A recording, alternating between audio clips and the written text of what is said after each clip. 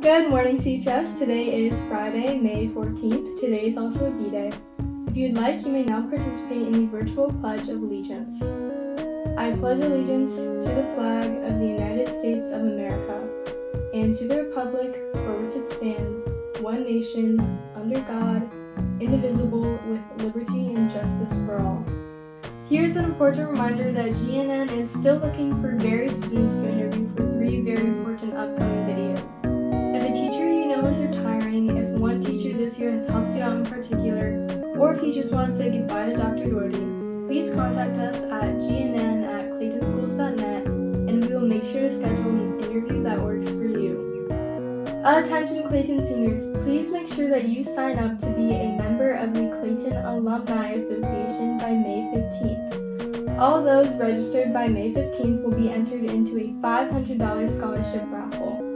The winner of this raffle will be announced at graduation, and if you want to register or you want more information, you can go to the website at www.claytoneducationalfoundation.org.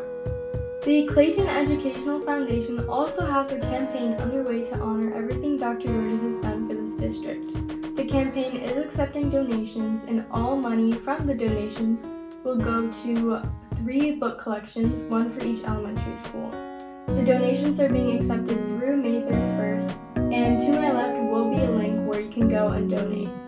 And that is all from me for this year's morning announcements. And yes, you did hear that right. This is the last week of announcements for the rest of the school year. You will still be getting emails and other things from teachers and other members of the staff, but no announcements will be coming through me or any other GNN members anymore. I just want to say thank you. This was a great experience, and I'm really glad that I got to be part of the announcements. Um, at the end of the announcements today, there will be some bloopers and also behind the scenes so you can better get to know everyone on the GNN team, not just me and the other on air people. So we hope you will enjoy that. It is going to be really funny and just fun and very interesting because you guys don't really know a lot behind the scenes, but now you will. And with all of that being said and done, up next is Eli with the latest in CHS sports. What is up, Greyhounds? I'm here to give you the last sports report of my Clayton High School career.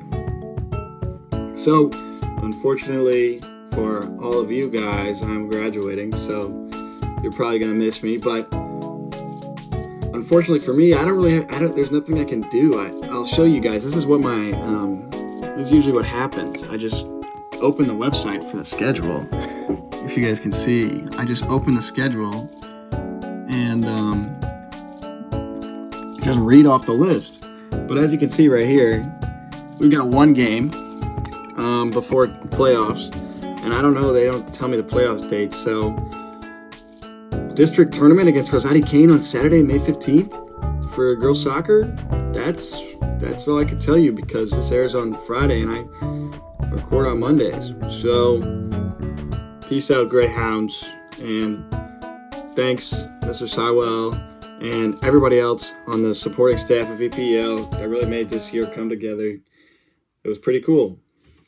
See you, Greyhounds. Everyone, and welcome to this week's birthdays. Happy birthday to Dinka Akanam, Jacqueline Donaldson, Thomas Gustafson, Tenley Hall, Aziz Komaswinski, Patrick Mertz, Amon Nelson, Thomas O'Brien, Delaney Osborne, Milan Patel, Martin Pilot, Anthony Stamilio, Josie Stone, Zach Wang, Sabrina Whitmer, Olivia Whittle, and GNN's own Brooklyn Hicks, Lucia Johnson, and JoJo So. Thank you and have a great weekend.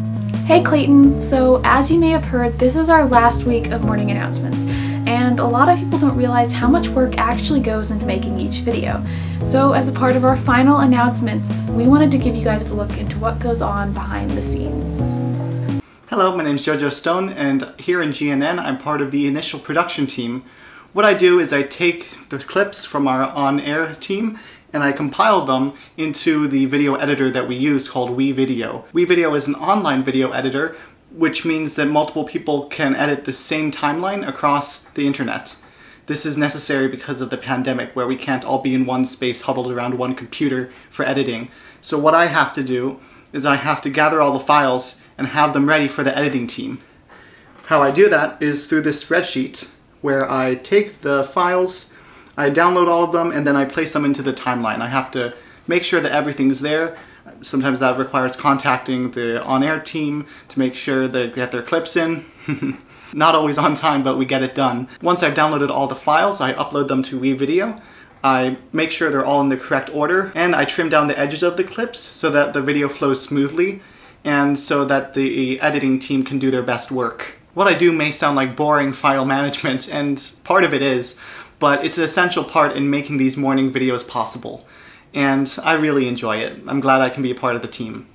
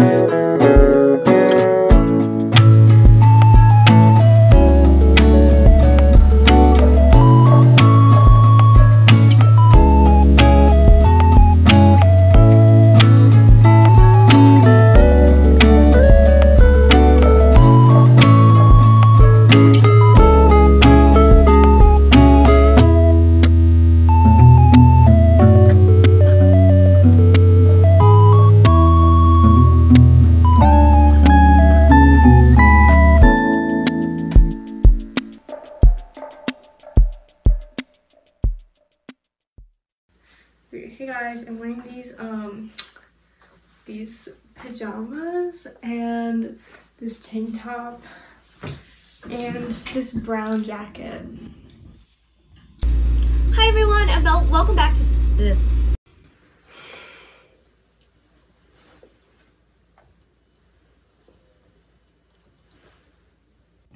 Hi everyone, and welcome to this week's birthdays. Happy birthday to Jinka Akanwa. Uh, shoot.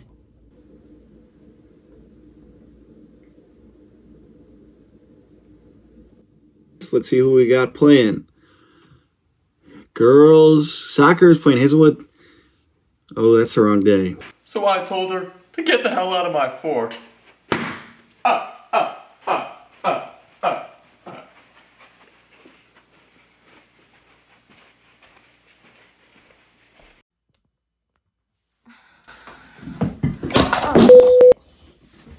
Okay, it's fine. Sadly, I'm graduating. Actually, I'm pretty excited about it, but you guys might not care. Um. Oh, I should probably turn the lights on. Ah, forget it. I'll just, I'll just beat you head in. Ah, forget it. I'll just beat you up. Um, sorry guys. I'll fix that. Oh, okay. Nope.